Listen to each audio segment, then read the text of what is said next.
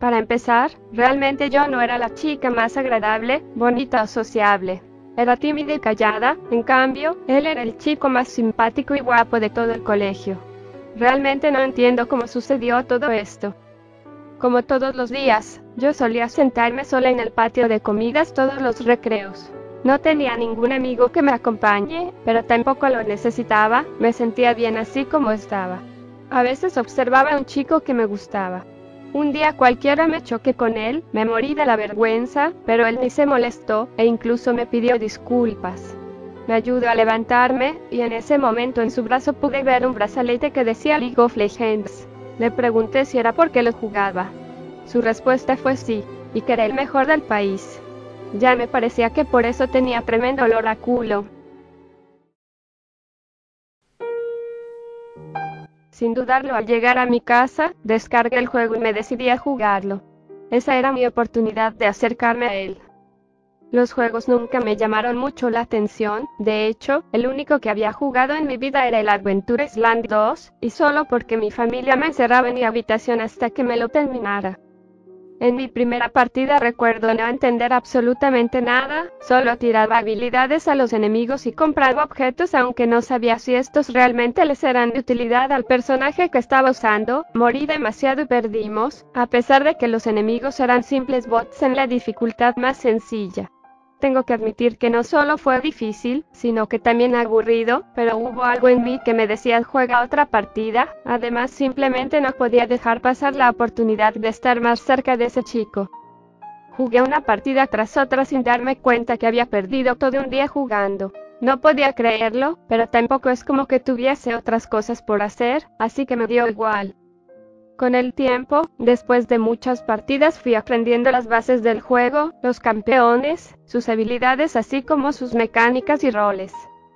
Me consideraba muy superior a mi yo del pasado que no pudo derrocar a los bots en la dificultad más fácil. Al otro día fui con seguridad, pero a la vez con nervios a hablarle e invitarle a jugar. Me respondió que con mucho gusto, y pasó su nickname para agregarlo. Fucking Master, así se llamaba. Arreglamos un horario en el que ambos podamos jugar, pese a que yo podía estar todo el tiempo que quisiese. Llego a mi casa y me pongo a esperar a que esa hora llegue.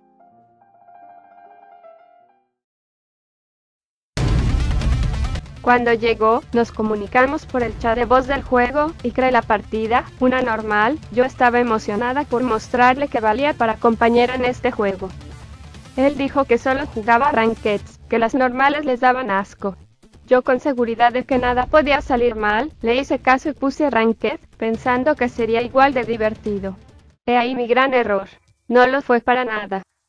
Elegí a Team y fui para Top con Ignite. En ese momento lo escucho muy raro, un poco más alterado, no se le escuchaba sereno y calmado como de costumbre, e incluso puedo jurar que lo escuché insultarme.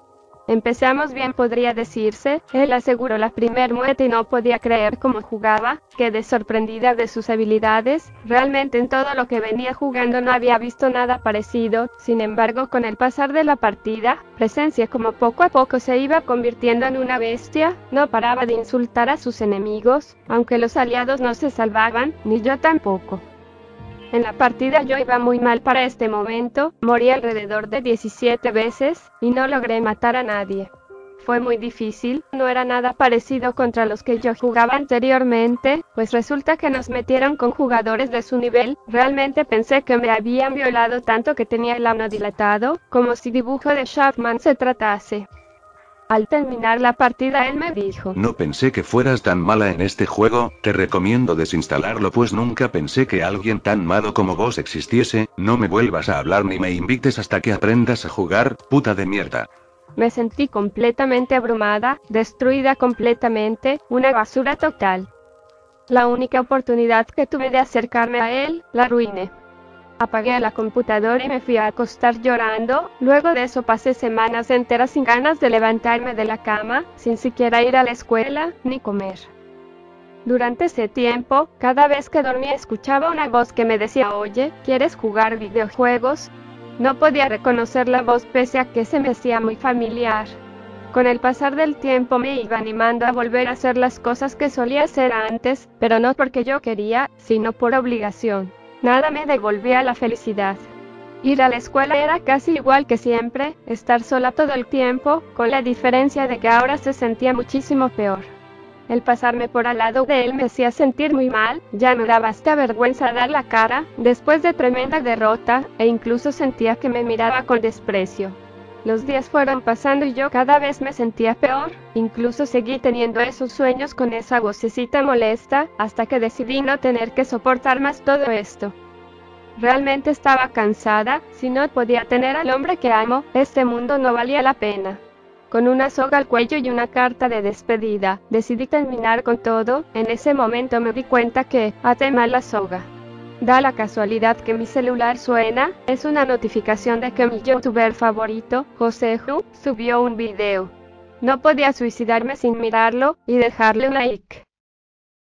Fue ahí cuando vi una luz de esperanza que me dijo que lo que estaba haciendo era lo incorrecto, fue ahí cuando descubrí que tenía salvación. Resulta que al querer reproducir el video, me salió un anuncio de League of Legends, que decía lo mismo que en los sueños que tuve, ahí fue donde reconocí la voz, en un anuncio. Esa voz fue la que me devolvió las ganas de levantarme, las ganas de jugar, las ganas de vivir. Me decidí a mejorar en todo aspecto en el LOL, comencé a jugar Ranked para perfeccionar toda mecánica que necesitase. Esto era personal, no iba a dejar pasar de nuevo la oportunidad de llegar a ese chico. Cada vez que me sentí débil y quise dejar todo, solo recordaba la voz en mi cabeza, eso me daba ánimos para seguir, y así lo hice. Empecé desde las ligas más bajas subiendo lentamente hasta llegar a lo más alto, recordando muy bien cómo eran los tipos de jugadores y estrategias que tuve que tener para ganar, iniciando por bronce 5 hasta plata, con cerdos que se enojaban por cualquier cosa se iban FK, junto a los que de por sí ya estaban FK, obligándome a usar campeones con los que pueda ganar literalmente sola. De plata 5 hasta plata 2 con gente que solo sabe echarle la culpa a su equipo y no hacer nada útil, siguiendo con la misma estrategia ya que se sigue sin tener equipo. De plata 1 hasta oro 2 con gente lobusteada muy tóxica pero al menos tenía equipos y es que estos no eran el lobusteados, al menos ya podía jugar los campeones que yo quisiese. De oro 1 a todo platino tuve que jugar campeones que estén rotos, teniendo que estar muy atento al mete y a las notas de los parches. Fue complicado superar esta parte ya que siempre había un balance entre partidas perdidas y ganadas, llegando a ser casi imposible superar esa liga, pero lo hice. Llegué a Diamante y acá es donde la estrategia dependía de mí, solo de mí. Ya tenía equipo, gente en la que confiar, sin FKs, un mapa bien guardado. Sin embargo me faltaba mejorar algo que era mi propia habilidad, ahora es cuando debía perfeccionar toda mi manera de jugar y lo logré. Después de esto, Master y Challenger fueron muy fáciles, finalmente llegué a donde quería, ahora lo único que deseo es retar a un uno versus uno chico para aclarar las cosas, que ya no soy igual que antes. Al otro día fui a desafiarlo, mientras le contaba, él me miraba de muy mala manera, en cuanto le mencioné lo de desafiarlo se me puso a reír en mi cara. Yo seguía con postura firme, por lo tanto ahí se dio cuenta que no era broma y acepto, pusimos condiciones como bandios, tiempo y rechazo por los bufos, entre otras cosas. Al llegar a nuestras casas empezamos y como esperaba, gané. Él no lo podía creer y quedó asombrado, pero me dijo, Wow, realmente has mejorado, pero esto no me importa, LOL es simplemente un tutorial para entrenar en el verdadero juego al que me enfoco, Bakugan. Quedé impactada por lo que me dijo, pero no iba a perder la oportunidad, pese a no tener idea de cómo funcionaba ese juego, él mismo dijo que LOL era un tutorial para ello, si pude perfeccionar el tutorial significaba que podía vencerlo. Empezamos a competir en ese juego, solo nosotros dos en directo con todo el mundo viéndonos. Yo decidí usar a Draclo y él me conterpitió eligiendo a Fernand Flow, activando su carta que lo volvía crack por unos minutos para después convertirse en fail, en otras palabras, se hizo muy poderoso por unos minutos.